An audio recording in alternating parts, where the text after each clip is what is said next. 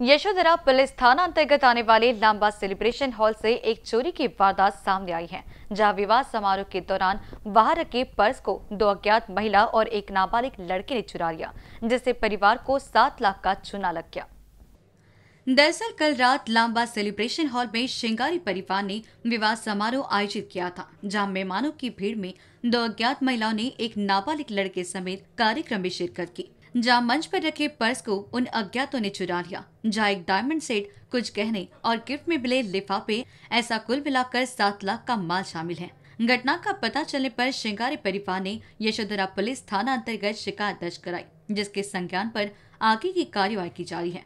दर्शकों ये शादी का सीज़न चल रहा है, जहाँ महिलाएँ भारी भरकम गहने और महँगी वस्तुएँ खरीदती हैं। और कार्यक्रम में लेकर आती हैं। लेकिन हम बीसीएन के माध्यम से दरख्वास्त करते हैं कि महँगी वस्तुएँ और गहनों का उपयोग ज़रूर करें, लेकिन सावधानी से, ताकि किसी भी प्रकार की डकैती आदि घटनाएँ कम हो। कल लांबा सेलिब्रेशन में नंदनवन हद्दी के जो एक फैमिली थी, श्रृंगारी, उनकी शादी थी लड़के की, वहाँ पर करीबन दोपहर को तीन बजे के दरमियान में दो संशयित महिला और एक छोटा बच्चा ऐसे उनके एक पर्स लेकर चले गए थे।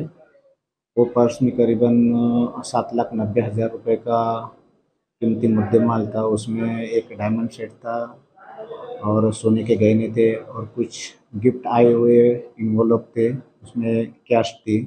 ऐसा कुल मिलाकर सात लाख नब्बे हज़ार का मुद्देमाल चोरी हो गया है। पुलिस थाने यशोधरा की टीम ने वहाँ पर तुरंत जाके विज़िट की है एफ़ रजिस्टर किया है। प्राप्त जानकारी के अनुसार और प्राप्त वहाँ के फुटेज के आधार पे आरोपी की तलाश शुरू है। जल्द से जल्द आरोपी को अरेस्ट करने के हमारे पूरे प्रयास शुरू है। तपास शुरू है। अभी एफ़ रजिस्टर करके अभी बारह पंद्रह घंटे हो गए। वर्कआउट शुरू है। जल्द से जल्द आरोपी अटक करने का हम प्रयास कर रहे हैं।